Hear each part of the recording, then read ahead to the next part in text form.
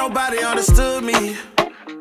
Yeah, yeah. Product of the city kept it solid like it should be. Poker tournament breaks are where you'll often find Jonathan and I either doubled over laughing or talking really in depth strategy about a hand that we played or the dynamics at our table.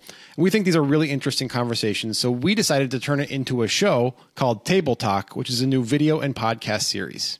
Yep, it's 10 minutes or less, and you're finally going to hear us talking about hands that we played against the populations that you're playing against. We're playing 5 5 cash, we're playing tournaments, but these are the same kinds of hands and the same kinds of opponents you're playing against. So it isn't just the high level hands against Jungle Man, which maybe none of us are going to be playing against so often. It's the real stuff and how we think about it.